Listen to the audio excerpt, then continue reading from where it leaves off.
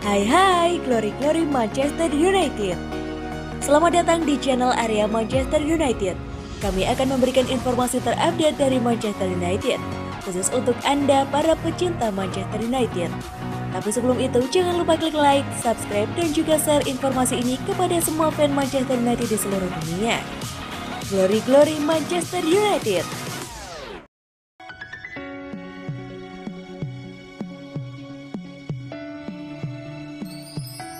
Siap rombak total Manchester United, Erik Ten Hag hanya amankan dua pemain ini.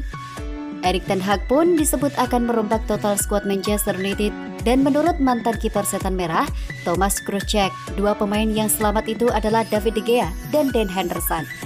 Dua kiper Manchester United tersebut dikatakan Thomas Krujcek menjadi dua pemain yang diperkirakan aman posisinya alias tidak akan dibuang di bursa transfer musim panas 2022.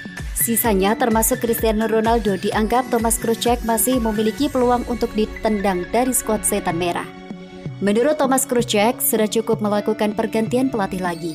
Ia percaya Erik Ten Hag bisa mengubah Manchester United, tapi harus ada perombakan besar-besaran di skuad setan merah jika mau filosofi permainan penyerang bisa berjalan baik di tim tersebut. Jelas, saya ingin adanya perubahan yang besar di skuad Manchester United. Saya mau melihat tim kesayangan saya bermain di level yang benar dan tidak kebobolan 9 gol saat melawan Liverpool di satu musim dalam dua pertemuan. Kata Thomas Krujcek dilansir dari Sport Bible Minggu 1 Mei 2022. Ini mengejutkan, selain kiper dan setiap posisi jelas harus dipertanyakan, David De Gea dan Dan Henderson tampil sangat kuat. Hanya dua pemain itu saja yang nantinya akan aman. Tambahnya, Sisanya seperti posisi jelas baru dipertanyakan, Cristiano Ronaldo memang tampil apik, tapi kini dia sudah berusia 37 tahun dan tidak bisa semua tanggung jawab dibebankan kepadanya. Intinya semua bagian dari tim Manchester United harus ada perubahan. Lanjut Thomas Krujcek. Menarik tentunya melihat pendapat mantan kiper Manchester United yang bermain di periode 2006 hingga 2012 tersebut. Baginya hanya kiper Manchester United yang bermain baik dan sisanya tampil amat buruk.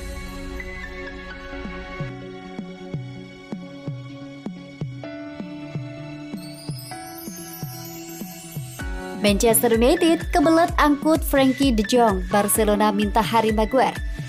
Klub raksasa Liga Spanyol, Barcelona kabarnya membuka diri untuk menjual Frankie de Jong ke Manchester United di bursa transfer musim panas mendatang. Syaratnya, Setan Merah harus merelakan sejumlah pemainnya sebagai pelicin kesepakatan. Salah satu pemain yang diinginkan Barcelona adalah Harry Maguire. Frankie de Jong dibidik Setan Merah terlepas dari sosok nahkoda anyar Manchester United, Erik Ten Hag. Layaknya pelatih baru pada umumnya, Erik Ten Hag sudah pasang kuda-kuda untuk belanja pemain anyar demi memperkuat timnya. Erik Ten Hag dibekali dana hingga 250 juta euro untuk belanja pemain. Ten Hag pun sudah mengantongi siapa saja yang akan ia rekrut.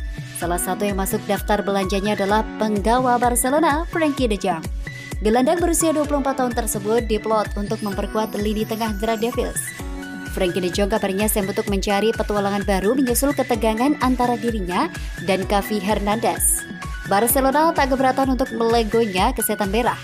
Asalkan The Red Devils mengikhlaskan sejumlah pemainnya termasuk Harry Maguire.